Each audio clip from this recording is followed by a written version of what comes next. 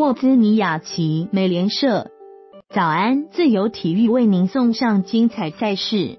澳网第十三天女单决赛下午四点三十分由球后哈勒普 Simona Halep 迎战丹麦甜心沃兹尼亚奇 Caroline Wozniacki，两位女将都未曾赢下任何一座大满贯冠军，会由现任球后赢下并稳居世界第一，还是由丹麦甜心赢下并成功抢回球后宝座呢？比赛精彩可期，球迷们千万不要错过了。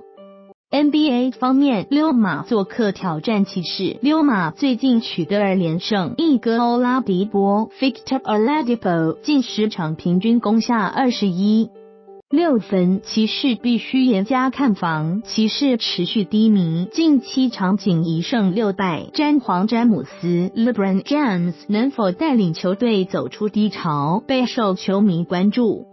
另一场比赛由鹈鹕坐镇主场迎战火箭。鹈鹕最近一波三连胜让他们在西部的排名冲到第六，且阵中明星大前锋戴维斯 Anthony Davis 近十场平均攻下二十八六分，他的发挥绝对是球队胜负的关键。而火箭仍然保持竞争力，近八场七胜一败，今天能否击败鹈鹕并拿下五连胜呢？SBL 例行赛晚间五点由台银迎战富邦，晚间七点达兴挑战浦原。台银能够抵挡最近拿下三连胜的富邦吗？而排名第二的浦原与战 G 第五的达兴之间会擦出什么火花呢？欢迎大家锁定自由体育的即时文字转播。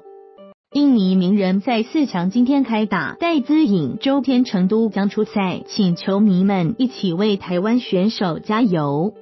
澳网十六点三十分女单决赛，FOX 体育 FOX 体育三台；十八点男双决赛，FOX 体育 FOX 体育三台；NBA 例行赛。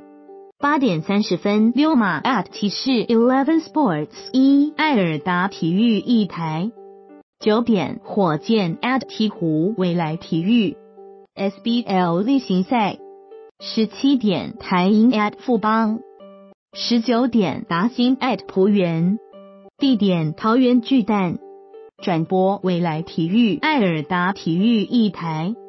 两千零十八 BW。F 世界羽球巡回赛十三点，印尼名人赛四强，哈勒普法新社。